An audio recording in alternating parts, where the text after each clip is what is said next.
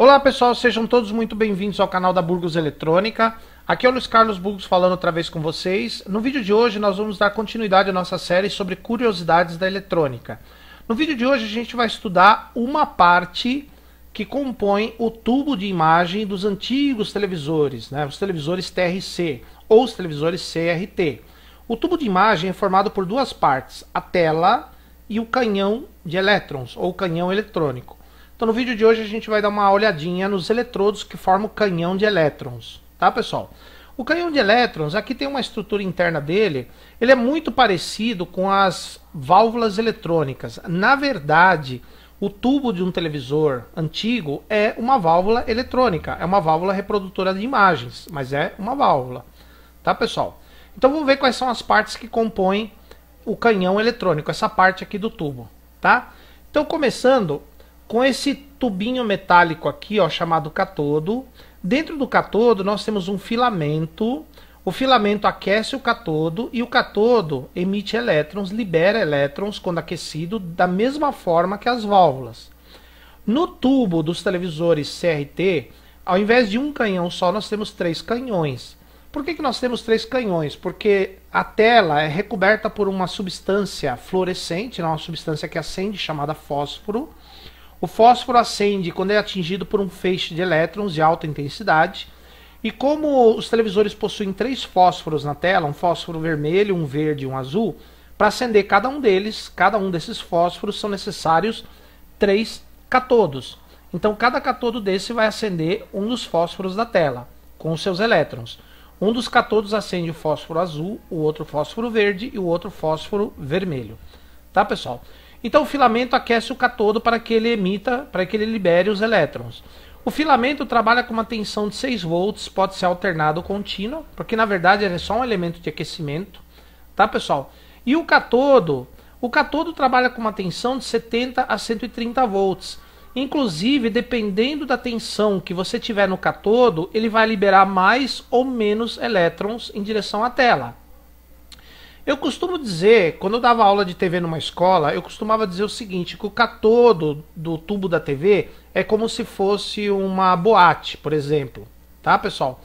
Uh, uma boate tem homens e mulheres, dependendo da quantidade de mulheres, vai ter uma certa quantidade de homens. Ou dependendo de se tem mais ou menos mulheres na boate, mais ou menos homens vão embora da boate. Tá, pessoal?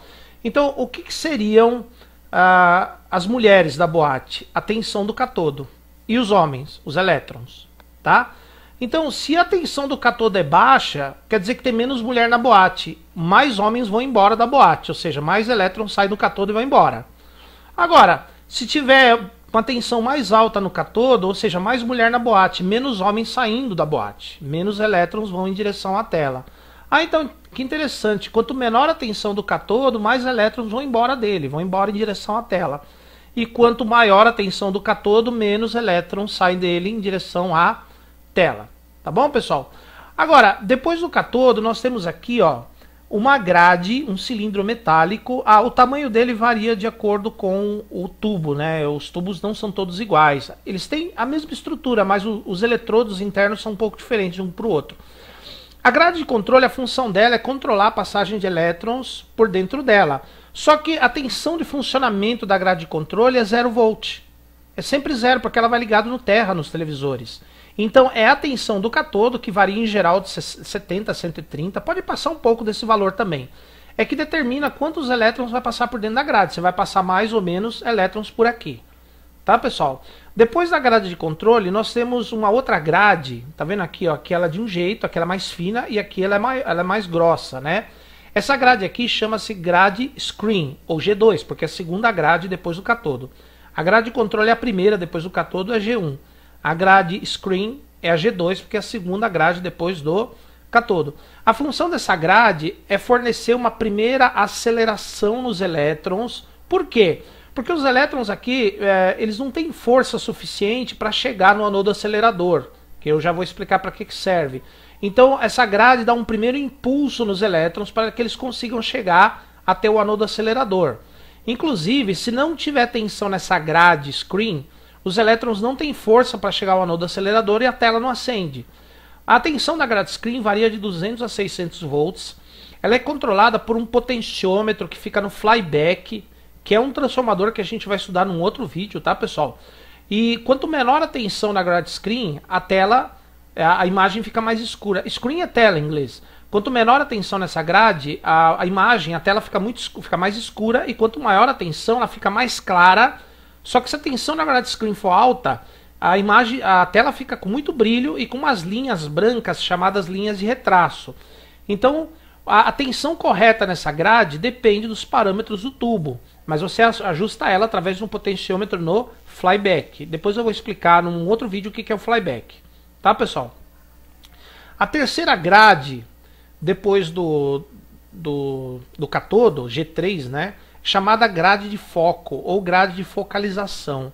É um eletrodo relativamente grande, tá pessoal? Olha aqui como é que é aqui, como é que é aqui. Para que, que existe essa grade? Os elétrons são cargas negativas, então quando eles saem do catodo, eles vão se repelindo, eles vão abrindo. Em vez de formar um feixe de elétrons, eles vão abrindo.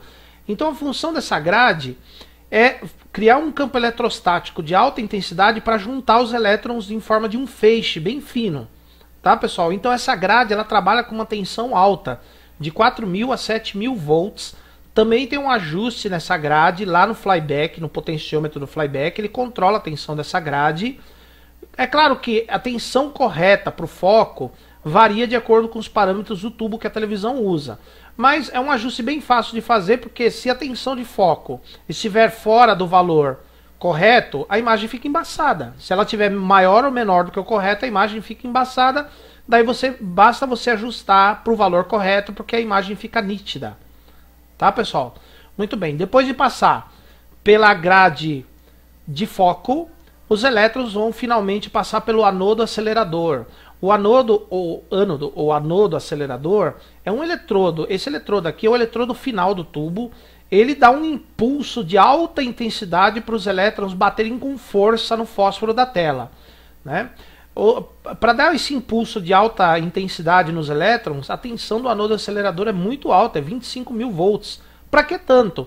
Porque o canhão, se a gente analisar a posição que está o canhão do tubo e a posição da tela, o canhão está longe da tela. Então os elétrons têm que sair de, com alta intensidade pelo canhão, tem que sair do canhão em alta intensidade para bater com, com força no fósforo e poder acender o fósforo. Se não tiver tensão no anodo acelerador, ela tiver baixa, os elétrons não têm força para chegar no fósforo e acender o fósforo, ou seja, a tela fica apagada.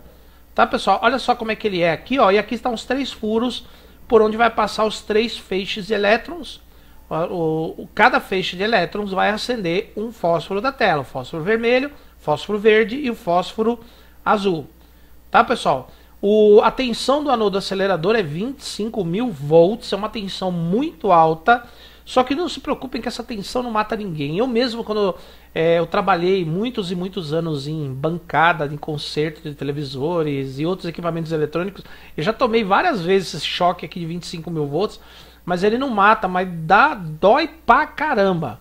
Tá, pessoal? Por que, que ele não mata? Porque a corrente que um tubo consome quando está funcionando é menor do que 1 miliampere. É uma corrente muito pequena. Tá, pessoal? Ela não é suficiente para matar uma pessoa, mas é um choque meio desagradável, eu diria assim. Porque eu já tomei algumas vezes e dói pra caramba. Porque a tensão é muito alta, é 25 mil volts. Tá? Mas pode jogar o cara longe, né? Pode dar um tranco no cara e jogar longe.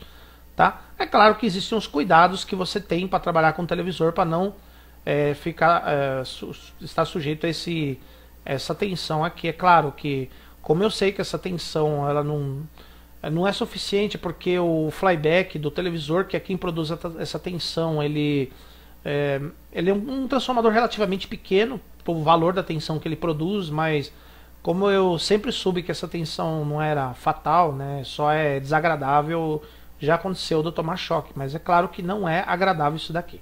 Tá, pessoal? Então, é assim que funciona o canhão eletrônico de um tubo dos antigos televisores. Tá bom, pessoal? Então, se vocês gostaram do vídeo, dê um like. Se você não gostou do vídeo, pode dar um dislike. Sejam educados nos comentários. Espero vocês para um próximo vídeo. Inscrevam-se no canal para receberem as notificações dos próximos vídeos. Por enquanto, meu muito obrigado e até a próxima.